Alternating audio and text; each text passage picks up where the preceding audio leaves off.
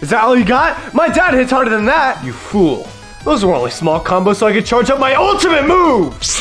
Penetrating Saber Slash. Oh, crap, crap, crap. I can't get hit by that dude. Ugh. Dodge, dodge. Yo, dodge! Hey, I'm pressing X! What do you- No! Oh my god. Oh my god, I'm still alive? No way!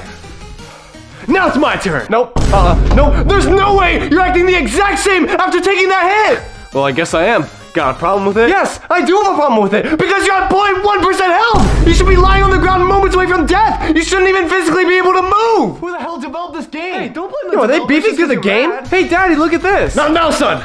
This is too dangerous. I just wanted to show you my paper airplane. Look how far it goes. Oh, what the? Game over. A paper airplane? I died to a paper airplane? Are you kidding me?